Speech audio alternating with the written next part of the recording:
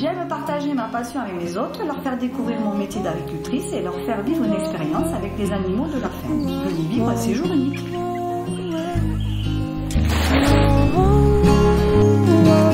Nous sommes 42 000 propriétaires. Nous sommes tous différents. Gîtes de France, partageons des moments uniques.